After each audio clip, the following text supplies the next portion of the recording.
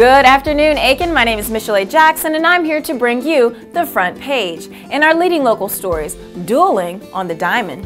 The Midland Valley baseball team defeated South Aiken in a comeback victory that went extra innings last night. The two teams will play again tonight with the top spot in the region standings on the line. In our coroner update, Darryl Ables was sworn in as the Aiken County coroner on Thursday. Ables took over the position after former corner Tim Carlton passed away. We'll be back after a brief message from our sponsor.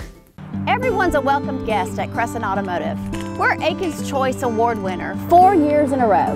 That probably has a lot to do with our low upfront windshield pricing and no additional processing fees.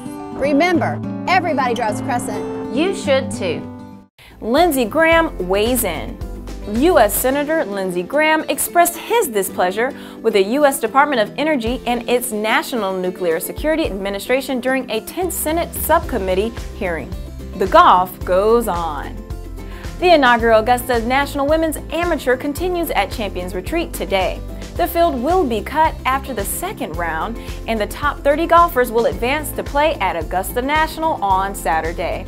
To read more about these stories, please visit aikenstandard.com. I'm your host, Michel'le Jackson, and I'll see you tomorrow on the front page.